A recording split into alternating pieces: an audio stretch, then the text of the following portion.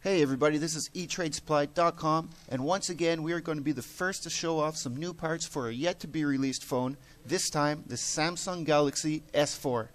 We will be looking at two parts today. One is the front housing and the other is the LCD assembly. So we'll start off with the LCD assembly and we'll compare it with that of the Samsung Galaxy S3. Now when you first take a look at them they look very similar. However, one thing that we did notice is that the new Galaxy S4 has an extra sensor hole placed right up to the left side of, of the earphone. Now the most obvious difference between the two assemblies is the 5-inch display on the S4 compared to the 4.8-inch display on the S3.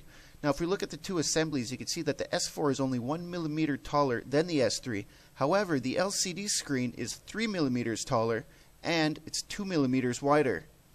So what Samsung has done here is they've utilized more of the available space on the front of the phone and eliminated some of this gap that used to exist between the LCD and the edge of the phone, as well as on the front housing of the S4. Now another difference that we noticed is that the S4 is becoming a little bit more rectangular. When we put the two LCD assemblies head to head, you can see that the top of the LCD for the S4 is less rounded than that of the S3. However, the four sides of the LCD assembly and the housing are still not perfectly flat and still have a bit of a round feel to them. Looking at the back of the LCD assemblies, you'll notice that the main difference is that the flex cables have been moved from the bottom of the assembly up to the top of the assembly on the S4. You'll also notice that the navigation panel flex cable will no longer be attached to the assembly and will no longer be connected to the main LCD flex cable. Perhaps it will be installed on the front housing instead. Now we'll compare the two front housings of the S3 and S4 using the i9505 version for the S4 and the i9300 version for the S3. Now on this S3 front housing, uh, there are already some small components installed, such as this non-conductive material which is pasted on, there's also a couple rubber gaskets and there's also some metal inserts inside of the screw holes. Now these metal inserts in the screw holes we usually see in phones today. However, on the S4, they have the screw holes without the metal inserts, and these screw holes are threaded directly into the plastic. Without the small components, when looking closely at the front housing of the S3, you'll notice that it's actually made just from one mold. You'll see that the sides have been painted blue, and it's even been painted a little bit on the inside with some metallic paints.